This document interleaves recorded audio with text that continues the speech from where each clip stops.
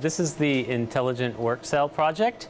And this is basically research on how robots and people can work together. When you have a robot like this, they're uh, generally uh, kept separate from people, uh, typically using some kind of a physical system. Typically, a robot is good at certain things, like welding, and a person might be good at certain other things, like uh, putting uh, some wires through a thin, small hole or something like that. So if a person needs to do something like that, you have to stop the robot, and then you can come in and do that thing, and then you can come back out and then start the robot again. But it's not very efficient. And so the idea is that we can give the robot some eyes so it knows where you are.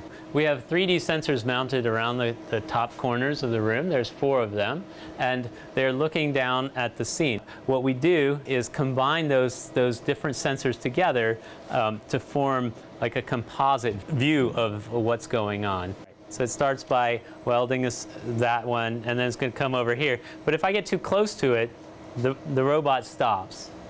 And if I move out of the way, it can start again. And if I'm behind it, it, it will also stop because uh, it doesn't know what I'm going to do. So as long as I uh, stay uh, far enough away, the robot's happy. But if I get too close, the robot stops. The robot can actually communicate what it's trying to do to me. Green indicates the direction the robot is like going to be going in. Uh, yellow in flashing is like a pause state. If I get too close to the robot, um, it shows red. And it shows red only in the direction where the problem is. On the floor, we have a similar kind of thing. Red is where the robot is. If I'm too close to the robot, it'll start to flash and it's like white and red flashing. My blue is sort of intersecting with the robot. If I step back, the robot will start up again.